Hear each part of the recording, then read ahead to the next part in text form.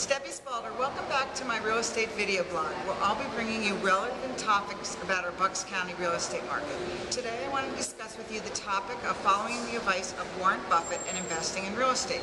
Recently, Warren Buffett made the monumental statement that he would buy a couple hundred thousand single family homes. He says that owning a home is a leveraged way of owning a very cheap asset. Think about that. For months, if not more than that, countless realtors have been urging their clients and potential clients that now is the perfect time to buy. Now it comes from one of the biggest investors of our time. It brings new light to the subject for many investors. So again, if you're considering investing in real estate, follow the sound advice of one of the best investors of all time. I invite you to forward this video to anyone you know that will find these tips useful. And if you know someone who is looking to buy, sell, real estate. We can certainly help. Please call us at 215-990-3992 or get us on the web at padreamhomes.com. Thanks again for joining me. I look forward to talking to you next time.